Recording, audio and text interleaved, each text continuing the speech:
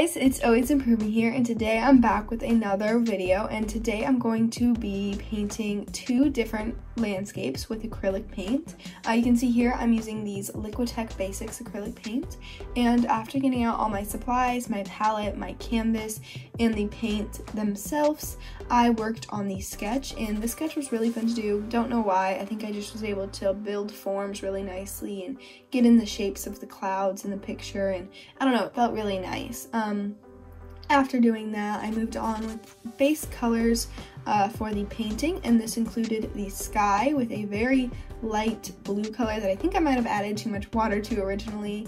Um, and then I did like a white, tan, maybe a yellowy color uh, for the stone of the mountain because I knew that it wasn't like a true white and I wanted to have that color shining through in any areas that I didn't want to put the last color, which is green, on top of everything. Um, by the way, the green, a lot of the green in the foreground was more vibrant and had more color variation than in the uh, background where it was darker um, or just one color overall. It didn't have a lot of variation and that was to create a really nice sense of depth within this image. Next I moved on and kind of just put the clouds um, where they were. So I just like I didn't add too much detail to them. I just put some white where I knew that the clouds would be in order to create a stable foundation for the rest of the painting. Um, and by the way the this is my first time using the Liquitex Basics. Um, I did show them off in my last video but I actually made this painting the first painting in this video before I did my flower speed paint last week um, and I really like the Liquitex Basics. Um, I like how they mix. It's much different and much easier to mix them uh, compared to the Master's Touch that I was using before. And they also thin out with water so much better than the Master Touch. I feel like the Master Touch paints were a little bit too tacky and these paints are not like that at all and they dry completely different as well. Um, these Liquitex Liquitex, excuse me, basics, they dry matte, not shiny um, and not tacky at all. So I really like how these paints worked and how they uh, performed for me in this painting. Um, after I had gotten all the base layers done, I did go in and added tons of detail and tons of variation into those trees. It was actually really hard for me to really understand what I wanted um, to show through, like how much detail I wanted to show within those trees on the mountains because it's really hard when you think about it. Even the picture, um, you don't see like individual trees or like individual leaves on the trees or anything. You see a bunch of green shapes, and it was really hard for me to take that, not even super detailed picture and then translate that into a painting and have it convey detail. Um, so I did struggle with that a little bit, um, but overall it wasn't too bad and I was really happy with how that um, the mountain was turning out in itself and all the variation I could get. After that, I moved on to the clouds, which I had already added a bit of shadow to. Um, and the main thing I wanted to keep in mind for these clouds, I wasn't necessarily going to follow the reference exactly because clouds are organic and they're not going to be a specific shape. So it was okay if I varied from the reference photo. But again, the main thing I wanted to keep in mind was that there would be two highlights on these clouds. One from the sun and from like the top of the page and then the other would be more of a reflective light from the mountains. So I tried to keep the shadow in the middle with having on either side a nice um, highlight white color shining through in the clouds and that really allowed me to create that form and to create that realism within this piece.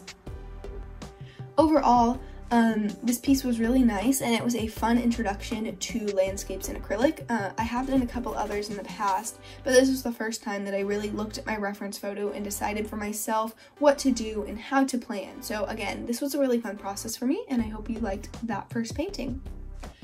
The next painting was quite similar how it started. I just sketched out the landscape. By the way, I'm getting these photos from Noah Bradley.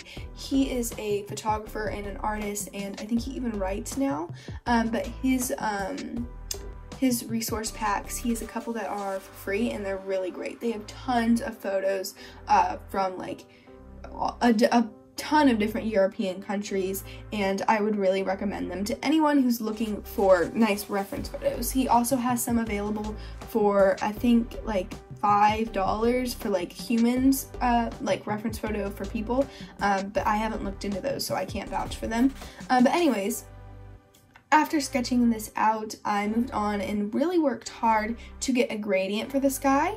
Um, and I did that just by adding a little bit of red into my blue because I had like a phthalo blue, I think is what it is. And I wanted it to be a little bit more purple for the top and then slowly fade into a lighter color as we approach the horizon.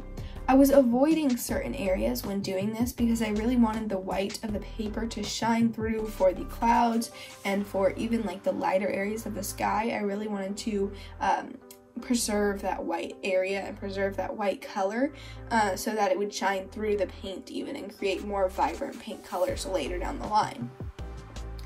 Uh, the grassy area, the hill, I guess you would say, um, it was actually kind of hard to get that color that I wanted.